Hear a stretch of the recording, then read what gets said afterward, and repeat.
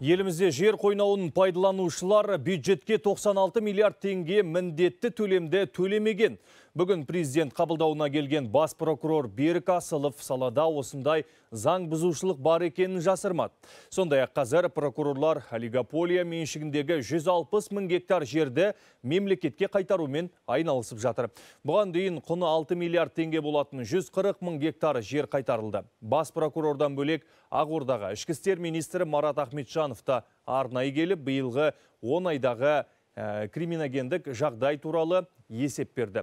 Министрдің айтуынша, бопсалаумен, адам саудасымен қару жарақты есірткіні заңсыз сатумен айналысқан ә, 33 қылмыстық топ ұсталды.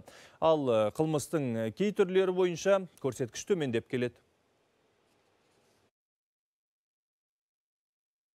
аса ауыр қылмыстардың төмендеуін айту керек оның ішінде қасақана адамды өлтіру тонау зорлау мал ұрлығы тағы да басқа халықтың мазасын алып отқан қылмыстарды. Және осы жолдауда берген тапсырма интернет алаяқтық есірткімен қарсы күреске және мынау отбасылық тұрмыстық зомбылықты жағдайдағы жасалып жатқан іс шараны баяндадым.